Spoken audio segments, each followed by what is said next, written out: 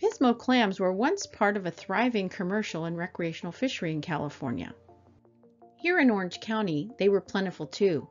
I've been told by many people that on any given day during a low tide, from Newport to Long Beach, you would see hundreds of people with rakes and pitchforks raking the sand for clams to make delicious chowders and stew for their families. There isn't much data on the numbers of clams we had here in Orange County, but people say they could just dig in the sand with their toes and easily find clams. This is a picture of a Huntington Beach lifeguard. I've been told that after work, they used to go dive for clams under the Huntington Beach Pier and fill their wetsuits full of tasty clams.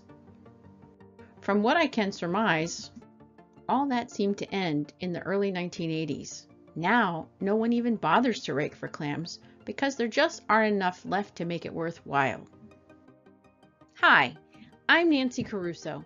I'm a marine biologist and founder of Get Inspired. I've been restoring marine species to our coast for the last 20 years. I taught 5,000 kids to grow giant kelp in their classrooms and trained 250 volunteer divers to successfully restore our kelp forests after they'd been gone for over 20 years.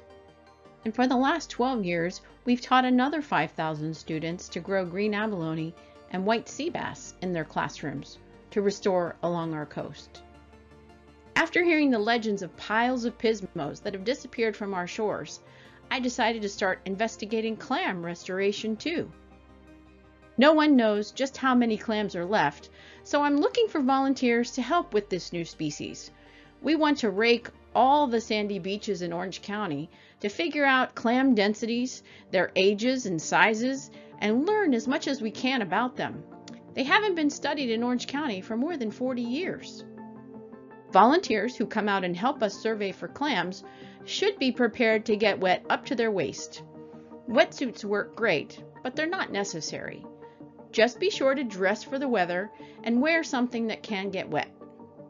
Neoprene booties or water shoes are a must to protect your feet from sharp shells and rocks. Be sure that the shoes are attached to your feet or they may get stuck in the sand. You should be prepared to rake for about an hour. You'll be raking a straight line through the sand with up to 10 other rakers. If you have any back issues, I don't recommend raking. I admit it does take some strength. You must push the rake down into the sand with one hand and pull it across 300 meters of beach. The clams are buried in sand about as deep as their shell is long. So a 3 inch clam is buried in about 3 inches of sand. You can't see the clams, you have to feel them with your rake.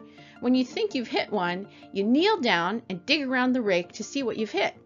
If it's a clam, you call out, clam! And a runner will come out and get it from you and take a GPS coordinate. You'll stay in place until they bring the clam back.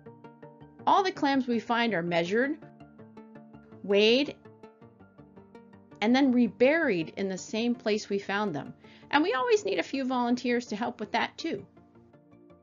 After measurement, all the clams are buried in the same orientation, hinge up, facing the beach. We hope that this work lays the foundation for future restoration of the Pismo clam.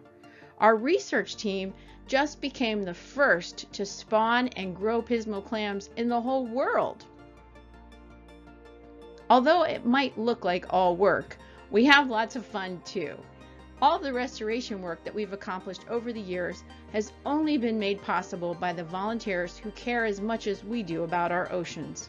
I'm so grateful for their time and the friendships we've made. I look forward to meeting you soon. If you'd like to volunteer for a clam survey, please send me an email and I'll add you to our roster. I send out announcements whenever we have a clam survey scheduled, and you can sign up to help.